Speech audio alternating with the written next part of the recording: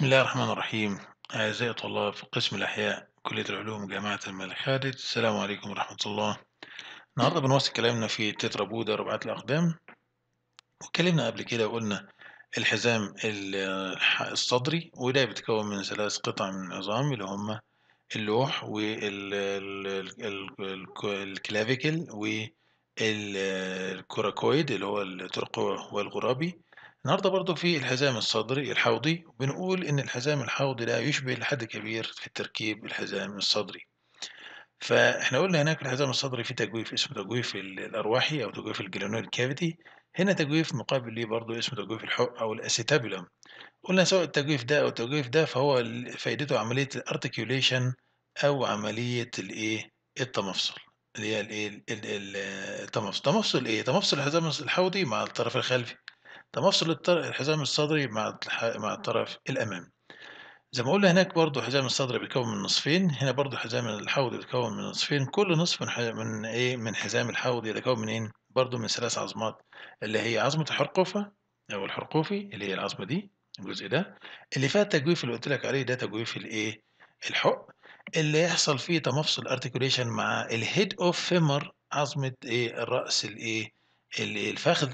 وبعد كده في العظمة التانية اللي هي عظمة ال pubis اللي هي عظمة العاني وعظمة ال ischium واللي هي عظمة الوركي يبقى برضو ثلاث عظام زي الحزام الصدري. الطرف الأمامي اللي هو بيتمفصل مع الحزام الصدري والطرف الخلفي الحقيقة الاتنين بيبقى فيه تشابه في التركيب ما بين الاتنين. نتكلم الأول على الطرف الأمامي. الطرف الأمامي برضو عبارة عن آه، عظمة مفردة قريبة من الحزام الصدري تسمى العضد هيومرس توجد عند مقدمتها جزء كروي بيبقى عامل كده. الجزء الصغير ده هو اللي هيبقى إيه متمفصل مع مين؟ مع الإيه رأس الإيه مع تجويف الإيه الأرواح الموجود في الحزام الصدري. يبقى في عندك رأس العضد يتمفصل مع تجويف الإيه الأرواح.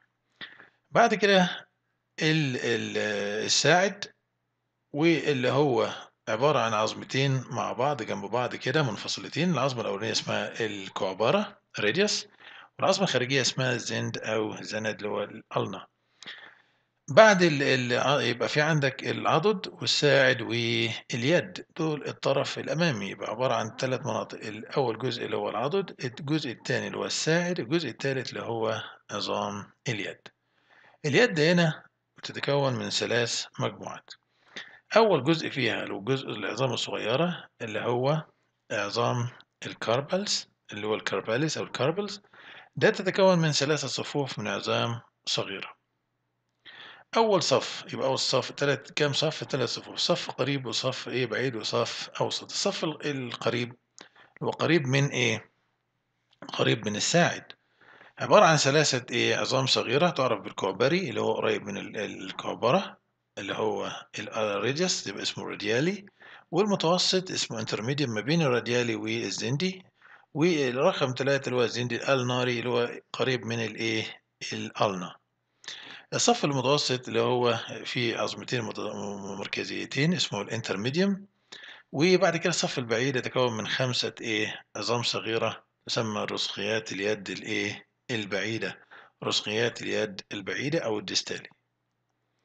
يبقى عندي اتنين آه sorry تلاتة اتنين خمسة. دول مع بعض كده اسمهم إيه؟ ال carpals أو ال carpals اللي هي رسغ اليد. بعد كده هيبقى فيه آه الجزء الثاني المهم طبعا من الايه اليد اللي هو ال carpal ال metacarpals. يبقى فيه ال carpals وال metacarpal ال metacarpals دي اللي هي عظام المشط بتاع اليد اللي هو راحة اليد نفسها. وهي عبارة عن خمسة عظام طويلة وكبيرة. بعد كده في سلاميات الايه؟ اليد اللي هو ال phalanges اللي طبعا موجودة في ال fingers بتاعت الايه؟ اليد. وكل إصبع يتكون من سلمية آه، واحدة وحتى خمس سلميات على حسب نوع الايه؟ الكائن نفسه أو عقل يعني.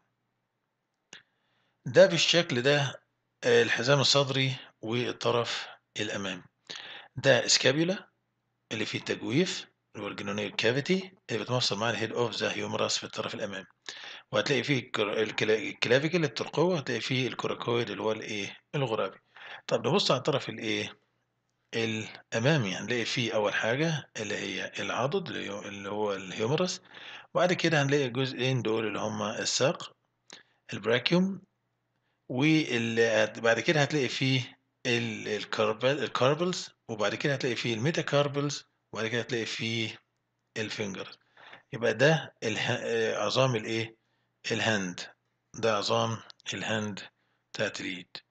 طب نبُص على اللي فوق ده قُلنا آآ الأل ال الulna وده الradialis أو الradius ال الulna ده هيبقى فيه قريب منها الulnari اللي هو الزندي. والradius هيبقى في ال الradiali اللي هو الكعبري وما بين الاتنين هتلاقي فيه الintermedium المتوسط يبقى دول ال3. بعد كده يبقى في intermedium اللي هو الcentralia اللي الجزئين اللي في النُص دول يبقى 3، 2 بعد كده في 1، 2، 3، 4، 5 5 آآ رسغيات اليد البعيدة اللي هم قُلنا عليهم 5 يبقى 3، 2، 5 دول الcarpals. بعد الcarpals هتلاقي فيه آآ 5 آآ عظام طويلة بالشكل ده اسمها الmetacarpals اللي بتبقى موجودة في راحة الإيه، اليد. بعد كده الfingers الموجود في الإيه، ال اللي بينتهي بالclaws أو الnails. ده الطرف الإيه، الأمامي. الطرف الخلفي مش هيفرق كتير عنه برضه هي نفس الشكل هو تسمى الفخذ بدل هناك الhumerus فيها رأس الفخذ بدل رأس الhumerus تماثل مع الإيه، الحُق بدل الإيه، الجرانيول cavity يعني الفخذ يبقى فيه الساق عبارة عن آآ عظمتين القصبة اللي هي الtibia وبدل ما كانت الradius والulna هنا هتبقى الtibia والfibula الشظية الخارجية يليهم عظام الإيه، القدم. عظام القدم برضه كأنك بتتكلم عن عظام اليد. برضه في عظام الرُسغ اسمه الtarsal بدل ما هنا الcarpals وهيبقى في الmetacarpals م يبقى هيبقى فينا الmetatarsals وهيبقى في الإيه، سلميات القدم والphalanges نفس الكلام بالضبط. هيبقى هنا ال الtibiali قريب من الtibia والintermedium في النُص والشظوي اللي هو الfibula اللي هو fibulae قريب من الfibula. وبعد كده في الاتنين مركزيتين وبعد كده الصف البعيد يكون برضه من 5 من الإيه، العظام الصغيرة تسمى رسغات القدم الإيه، البعيدة هناك اسمها رسغيات اليد هنا رسغيات الإيه، القدم اللي هي الديستالية برضه. 3، 2 آآ 5. آآ الmetacarpals ال الmetacarpals زي ما قُلت لك برضه هي تبقى نفس الإيه، الكلام عبارة عن 5 إيه، أجزاء من العظام برضه الصغيرة. بعد كده الإيه، ال ال ال الأمشاط اللي هي ال اللي هي الmetacarpals الmetatarsal هتبقى دي هي الجزء اللي هو بيبقى إيه، في الشوز الطويل ده العظام الطويلة. آآ برضه 5 زي ما كانوا هناك برضه 5 في اليد هنا برضه 5 في الإيه، القدم. بعد كده سلميات برضه الإيه، الأصابع اللي هي آآ بيسموها هنا الtoes هناك fingers هنا يسموها الtoes اللي هي أصابع القدم الtoes تكون كل إصبع برضه من سلامة واحدة إلى حتى إيه، 5 سلميات. ده ال الilium وده الpubis وده الischium وده قُلنا فيه الacetabulum اللي فيه الhead of femur with them وده الfemur. بعد الfemur هيبقى فيه الساق وهيبقى فيه إيه، اللي هو عبارة عن الfibula والtibia والfibula هتبقى قريبة من الfibulari والtibia هتبقى قريبة من الtibiae واللي بينهم الintermedium. بعد كده في الاتنين اللي هم العظمتين المركزيتين بعد كده في 1، 2، 3، 4، 5 اللي هم الديستاليا ال5 دول 3، 2، 5 3، 2، 5 اللي هم الtarsals بعد كده في الmetatarsals اللي هم العظام الطويلة ال5 الموجودة قُلنا في الshoes بعد كده هيبقى في الtoes اللي هو الphalanges الموجودة بتنتهي برضه بالclaws أو الnails الموجودة آآ في نهاية يبقى ده الطرف الإيه، أو ده ال اللي هو القدم. قدم tarsals metatarsals and phalanges of toes. والسلام عليكم ورحمة الله وبركاته.